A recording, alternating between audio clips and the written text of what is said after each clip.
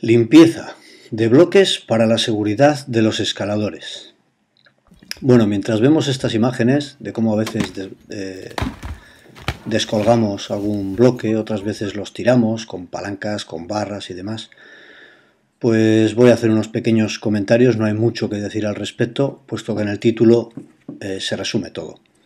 Cuando hablamos de seguridad en, la escalada, eh, pocas veces nos referimos a estas cuestiones que de forma pasiva pues nos vemos envueltos en, ella. ¿no? Si hay un bloque a punto de caerse y está encima nuestro, desde luego estamos corriendo un, grave peligro.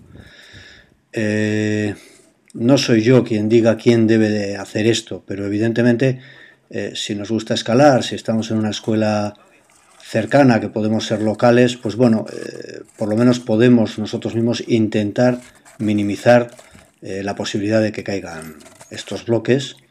Eh, bueno, trabajando en equipo, eh, juntándonos, avisando, si no a otros que sepan hacerlo y con las debidas maneras y formas de protección adecuada y, avisando a todo el mundo, pues bueno, desde luego mejor que un bloque inestable por el que pasamos habitualmente es ponernos manos a la obra y, que este bloque quede, quede, abajo de una forma o de otra.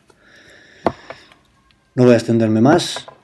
Es un poquito de trabajo en estos días de vacaciones y son unos grandes bloques que hemos echado en la escuela de, escalada de las Peñas de Santa Marina de, de Urduliz.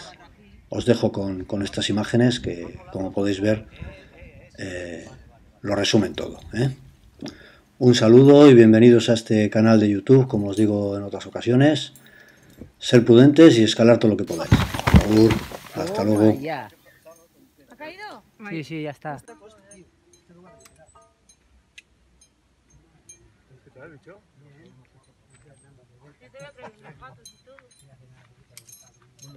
Espera, ¿eh, flaco?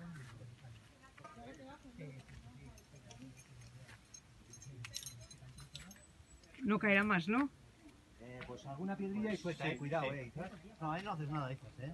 Mira, mira, ahí va. Oh, oh, oh, oh. ¡Oh!